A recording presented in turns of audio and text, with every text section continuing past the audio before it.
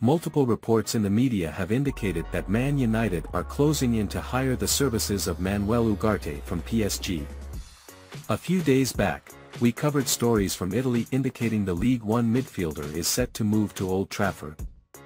More recently, as per record, Ugarte is moving closer and closer to the exit door in Paris and Man United should come forward with a proposal to sign him.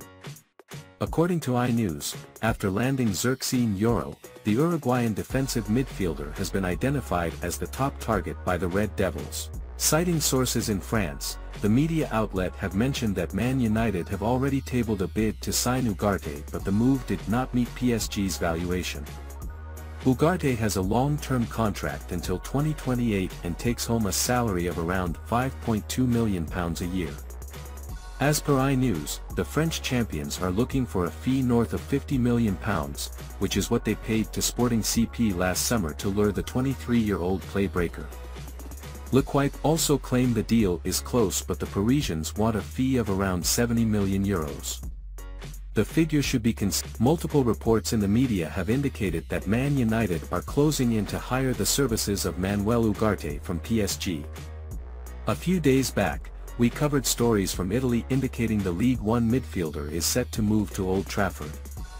More recently, as per record, Ugarte is moving closer and closer to the exit door in Paris and Man United should come forward with a proposal to sign him. According to iNews, after landing Xerxine Yoro, the Uruguayan defensive midfielder has been identified as the top target by the Red Devils. Citing sources in France, the media outlet have mentioned that Man United have already tabled a bid to sign Ugarte but the move did not meet PSG's valuation. Ugarte has a long-term contract until 2028 and takes home a salary of around £5.2 million a year.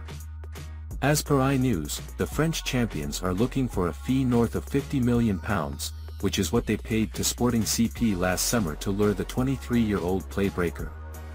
L'Equipe also claimed the deal is close but the Parisians want a fee of around 70 million euros. The figure should be considered